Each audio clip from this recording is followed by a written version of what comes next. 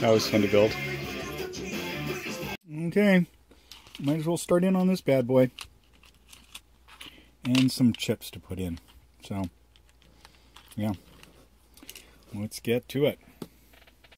I'm always a little bit alarmed when I have components left over, but um, I'm pretty sure that I've got this one populated properly.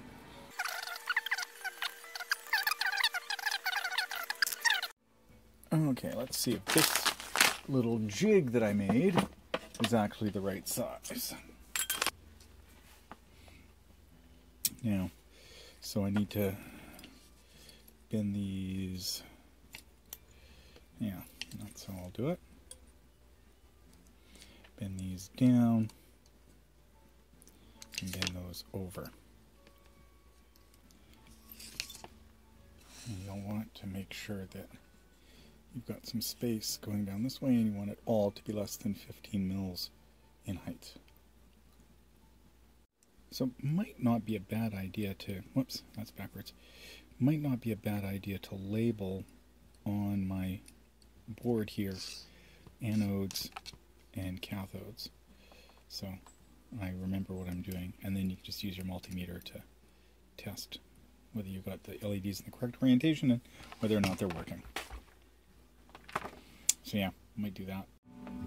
So you get something that looks like that before soldering, and then I'm going to, look at that. Is that backwards? Yes. Always a good idea to check.